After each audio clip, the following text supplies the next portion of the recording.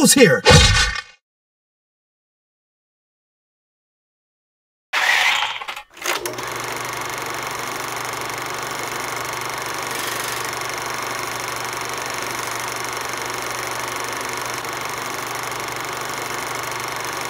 Today we will learn about the very first spy crab.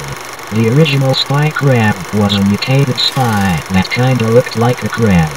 He was later on mutated to our modern spy crabs. The original spy crab was normally a companion with the engineers to help hunt down normal spies to turn them into the spy crabs. The spy crabs hate snipers very much because when a sniper falls down and says piss the spy crab will start to speak normal English and then explode and screaming a sign of his death which is now known nowadays as ear rape. Here's an example of that scream. Dick, dick, dick,